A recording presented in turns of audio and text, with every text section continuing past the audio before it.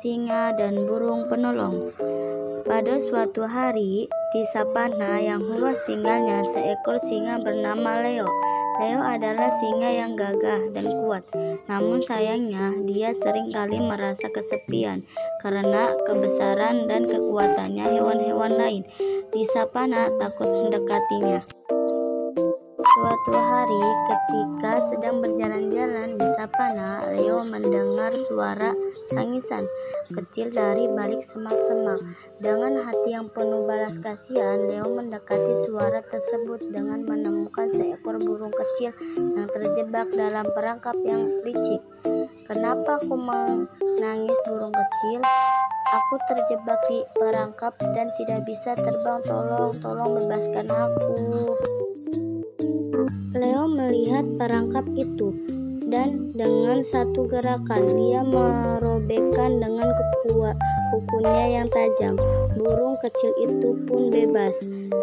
Dengan senang hati, burung kecil, apakah kau baik-baik saja?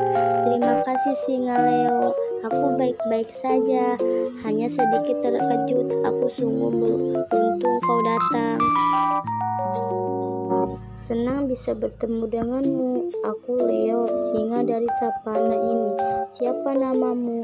Nama aku Filit, burung pipit yang suka berkelana.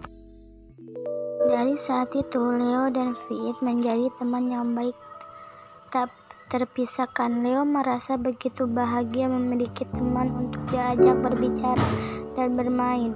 Sedangkan Filit merasa aman di samping singa besar dan kuat ini. Suatu hari, savana dilandakan kebakaran yang mengerikan. Hewan-hewan savana berlari mencari tempat yang aman. Leo dan Philip tanpa ragu-ragu berusaha menyelamatkan hewan-hewan yang terjebak dan korban api. Leo menggunakan kekuatan untuk membuka jalan, sedangkan Philip terbang kecil-kecilan memperingatkan hewan-hewan yang terancam bahaya. Berkat kerjasama mereka, semua hewan-hewan berhasil diselamatkan. Hewan-hewan savana pun bersyukur kepada singa Leo, burung fiit yang baik hati. Sejak itu, singa Leo tidak lagi merasa kesepian. Ia memiliki teman sejati yang selalu bersama dalam suka duka, membuktikan bahwa kebaikan hati dan kerjasama selalu membawa kebaikan pada akhirnya.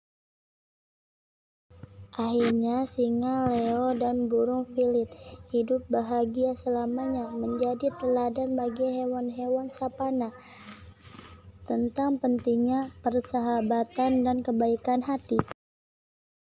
Kebaikan hati dan kerjasama selalu menghasilkan kebaikan. Pada akhirnya, persahabatan sejati dapat membawa kebahagiaan dalam hidup kita dan bantuan kepada sesama akan selalu diingat dan dihargai. Terima kasih.